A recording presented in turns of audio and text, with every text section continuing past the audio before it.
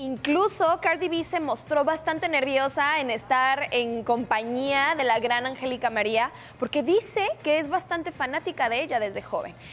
Y vamos a cerrar con broche de oro, con lo mejor de los semis que se vivió el día de ayer.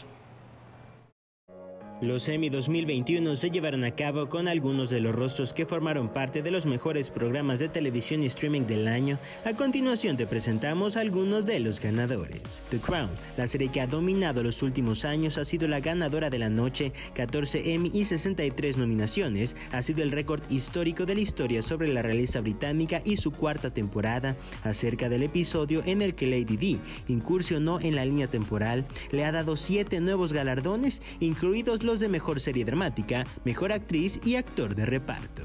Ted Lasso es la serie revelación protagonizada por Jason Sudeikis, cuenta la historia de un entrenador de fútbol americano que ha sido del gusto del público, pues logró consagrarse como mejor miniserie de comedia y otros tres reconocimientos en esta rama.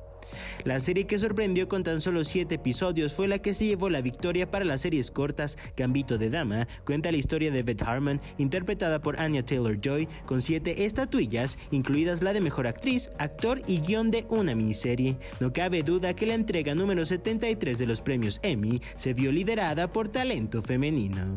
Jesús Mora, Quiero TV Espectáculos.